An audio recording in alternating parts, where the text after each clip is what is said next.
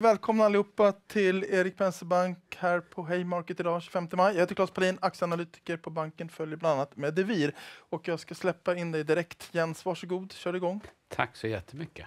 Så, oj, det är bra att man är lite cool här med lite slide-stress i sista sekund. Hej, Jens heter jag, jobbar som VD på Medivir sedan ett, ett och ett halvt år tillbaka ungefär. Eh, och för att hoppa rakt in i presentationen, ska vi se om den där...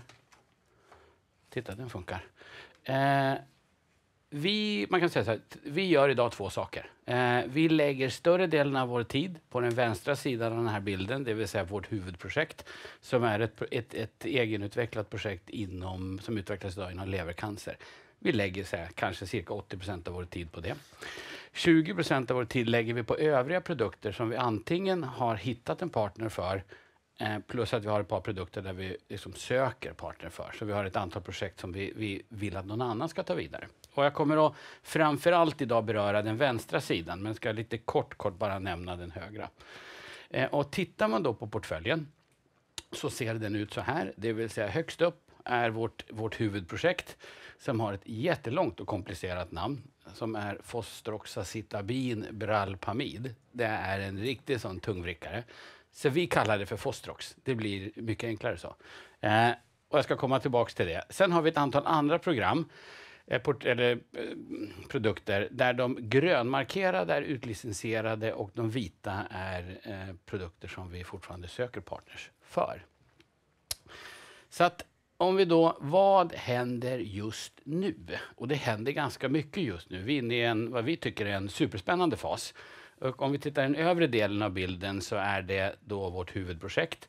Och den kanske det största, viktigaste budskapet vi vill förmedla, för vi är inne nu i slutfasen av den två, fas 2A-studien som vi genomför, där vi nu rekryterar med väldigt, väldigt hög speed och siktar på att försöka stänga den eh, så snart som möjligt.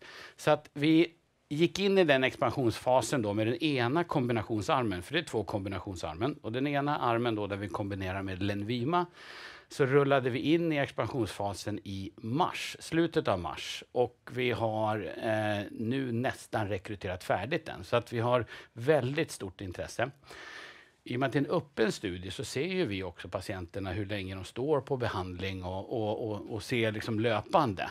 Och det där ska vi presentera detaljer på en kommande vetenskaplig kongress. Men det gör att vi ser ju hur länge de har stått i alla fall. Och jag ska ge lite exempel på det strax på en bild till. Men den patienten som har stått längst och fortfarande står på behandling har nu då stått i nio månader och har nytta av behandlingen. Och då ska man sätta det i relation till att de här patienterna, för det här är andra linjens levercancer, de brukar progredera eller tumören tillväxer redan efter tre, tre och en halv månad i snitt.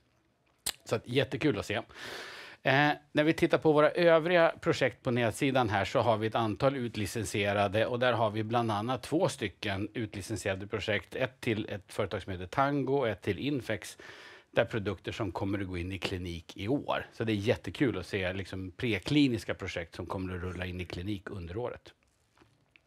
Men om vi ska fokusera då på Fostrox eh, och jag brukar ibland få frågan liksom, i vilket område är vi aktiva? Det här är en schematisk bild av levercancerbehandling, HCC då, eller primär levercancer.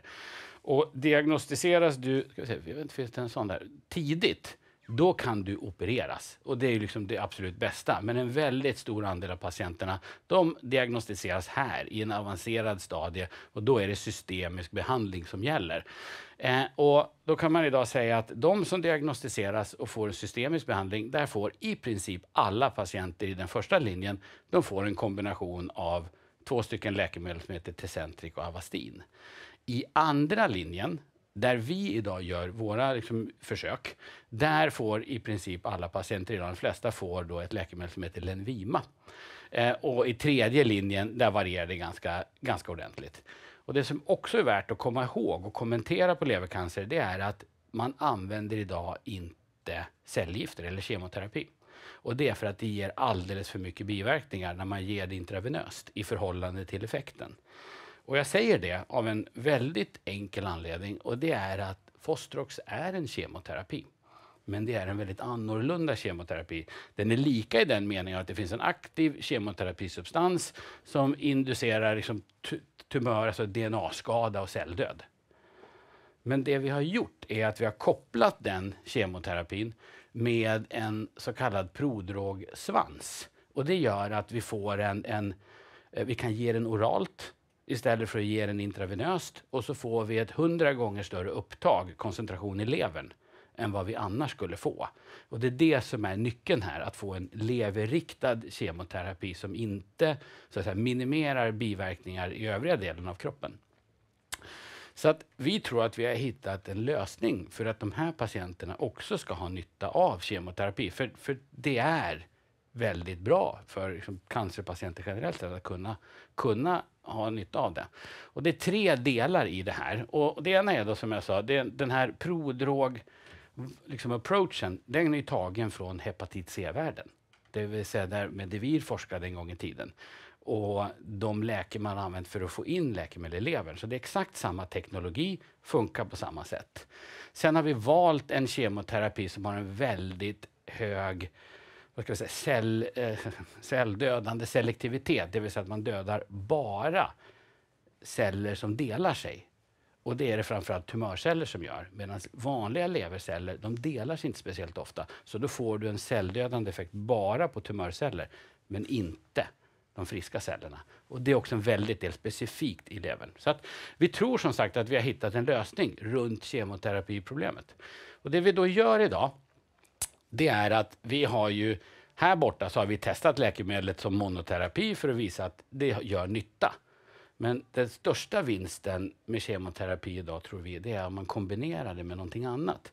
Och, det, och då kan man kombinera det antingen med, i det här fallet, pembrolizumab eller Keytruda som är en immunterapi, eller en kinashämmare som då är Lenvatinib eller Lenvima.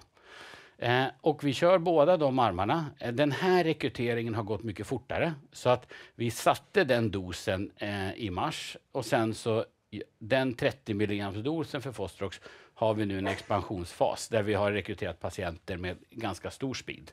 Eh, den här pågår fortfarande och vi räknar med att den ska vara färdig inom kort också. Och sen så ska vi någonstans här borta så ska vi välja den bästa kombinationen. Så att det vi då ser som gör att vi är ganska entusiastiska för tillfället, eh, åtminstone så här, internt tänkt så här, för jag har inte delat jättemycket information än, men det är ju att vi rekryterar jättesnabbt till den här studien. Eh, och, och, det finns ofta anledningar till det. Och liksom i ett sånt här läge, du rekryterar inte som prövare till en studie om du inte tror att det här kan det göra nytta. Här finns det ett värde. Klart, de har varit med i studien. Så att vi tar det faktum att de, de rekryterar in patienter med speed som en, en stark signal på att det de ser är positivt. Så att vi räknar med att stänga den här någorlunda snart. Och för att ge ett litet då exempel på vad vi ser så Dels i det första ett exemplet en, en, en, en kvinna som är kaukasisk eh, från den här delen av världen som då kommer drivet av en hepatit C. Eh, som ju då i den här första linjen, kommer ihåg att jag nämnde att alla patienter får i princip Tecentric Avastin. Så hon har fått det först och sen har tumören växt till eh, och sen har hon gått över på kombinationen och hon har nu då stått i lite drygt nio månader utan att det händer när tumören tillväxer. Jätteroligt att se. Och så har vi en, en, en asiatisk patient som också fick Tecentric Avastin men som eh, progredierade ganska fort.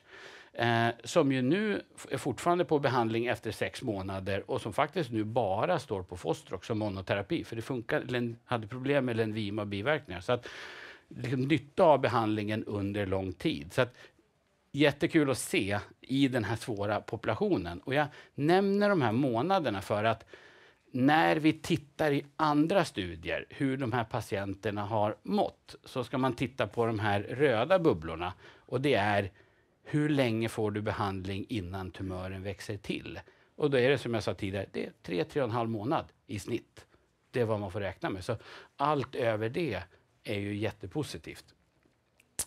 Så att när vi nu går in i nästa steg så ska vi välja liksom den bästa armen. Och det gör vi ju såklart. Vilken arm var bäst effektivitetsmässigt och, och biverkningsmässigt. Men, men också vilken arm är bäst i dagens kliniska värld. Och då kan vi konstatera att, att den här armen med Lenvima är den naturliga armen i, i den här andra linjen. För det är det de vill använda idag, monoterapi, och att då lägga på Fostrox på det är det mest logiska. Så att vi har inte formellt tagit beslutet, men vi kan väl säga att det är mycket som, som går åt det hållet, att det är den logiska armen att ta vidare. Sen är det klart att den här armen som vi då inte väljer, för vi har en andra arm, och då är frågan, är den helt ointressant då? Och det är den inte, för den kombinerar med en immunterapi. Och om ni kommer ihåg den här bilden så sa jag att här uppe i första linjen, då får alla patienterna Tecentric Avastin. Och Tecentric är en immunterapi. Så att våran tanke här och feedback vi har fått är att för många andra kombinationer har provat att vara bättre. Det finns ju de som vill visa att vi har bättre effekt än den här. Det är många som har provat och inte funkat. Så vår hypotes här och den feedbacken vi får det är att man behöver nog lägga till någonting mer. Så det vi tittar på är att se om vi kan hitta en väg framåt för Fostrox i en trippelkombination med de här i första linjen. Så det är också en sak som vi, vi jobbar på för att se hur vi kan om det är en möjlighet framåt. Så vi tror att det finns ett stort värde i båda armarna. Och därför så har vi då, och det här, nu blir det väldigt mycket detaljer, men egentligen bara på höger sida, så har vi djurmodeller tittat på vad händer om vi lägger till Fostrox på en sån här dubbelkombination. Och då ser vi att du får en, en, en väldigt synergistisk effekt på att lägga till då Fostrox i en trippelkombination. Så att djurmodeller visar lovande data eh, som också då talar för att potentiellt gå in i, i en första linje. Så att, nu ska vi ta beslut om vad som händer framåt och det gör vi inte i isolering utan nu har vi knutit till oss en, ett så kallat Scientific Council på fem stycken eh, etablerade vad ska vi säga, forskare och, och Key Opinion Leaders inom området som vi drar igång ett formellt arbete med nu här i slutet av juni för att designa de här programmen framåt. Så att jättekul att de vill vara med på resan också. Så att summa summarum tror jag, det var en fem minuters bild tidigare, jag vet inte om, det, om jag ligger på tid, men för att runda av här så kan vi då konstatera att inom levercancer så finns det ett jättestort medicinskt behov och det är klart att då finns det ju en potential. Det finns ett, ett utrymme för ytterligare behandlingar, jätteviktigt. Vi är den enda leverriktade behandlingen här som, som vi tar till marknaden. Eh, vilket ju då vi tror är lösningen för att minimera eh, systemiska biverkningar, bland annat. Och sen i och med att vi är unika med den här leverriktade mekanismen så gör vi också bedömningen att vi har en unik potential för kombinationer för alla andra läkemedel på marknaden tillhör två andra grupper. Så att komma med en tredje grupp, en tredje mekanism, tror vi är en, en, en, en bra väg framåt. Så med det sagt, Tack! Eh, tack så jättemycket själv, Jens, för en intressant presentation. Du visar ju lite data på mm. patienter och sådär. Mm. Eh, är det en representativ bild av vad ni ser generellt eller liksom är det här det bästa ni ser? Ja, nej, men så, det är en representativ bild. Eh, för, för oss är det väldigt viktigt att inte, ja men låt oss plocka ut en patient eller två och så tar vi de som ser liksom jättebra ut och sen så har vi alla andra det vore lite oetiskt. Så att ja, det är en representativ bild. Och sen har vi då valt att bland annat den här patienten som har stått länge på monoterapi, mm. det är för att också det är viktigt för oss att förstå vad gör Fostrox? Uh, för det är klart att har du en kombination så kan man tänka sig att ja, men det är den andra som också gör väldigt mycket. Så den patienten visar också tydligt att Fostrox har, har, har ett tydligt bidrag i den här patientpopulationen. Men ja, representativa. Mm. Och du har ju ett fint vetenskapligt råd uppe för att Aha. hjälpa er mm. att uh, gå vidare. Men, mm. men, kan du ge någon indikation ungefär vad du tror krävs för att ta Fostrox hela vägen till marknaden? Det är svårt att säga innan vi har utläsning på den här, på den här studien. Men, men det är klart att det logiska steget det är att efter den här fas 2A då gör man en fas 2b-studie, eh, en randomiserad där vi då jämför Fostrox plus Lenvima mot Lenvima. Lite större, vi pratar kanske 40-40-50 patienter per arm eh, som en 2b-studie och sen gör du en pivotal fas 3. Mm. Du skulle teoretiskt kunna göra en pivotal studie redan nu. Men då behöver de finala data från fas 2A vara väldigt bra. Då öppnas den här dörren för accelerated approval. Och den vet vi inte förrän vi ser data. Så det- liksom finns ju två vägar framåt. Men det vanliga 2B och sen 3. Mm. Eh, och för alla som inte kan eh, allting om er, eh, berätta lite vad har ni haft för strategi? Hur, vill ni, hur långt vill ni vara med i utvecklingen? Ja, men vi, har, vi har sagt följande, eftersom att Eh, levercancer är en mycket vanligare sjukdom i Asien än den är i Europa och, och um, USA, där, vi, där den går som orphan drug. Så det vi har sagt är att vi siktar på att utveckla produkten själva i Europa och USA. Och vi har som ambition att hitta en partner både för utveckling och kommersialisering i Asien. Så att vi siktar på att hitta en partner för Asien i ett tidigare läge. Sen så kommer frågan, ska vi kommersialisera i Europa och USA? Det, det blir nog en senare fråga, men vi känner ändå att vi kan driva det pivotala studien eh, för eh, liksom Europa och USA-godkännande. Det kan vi göra själva.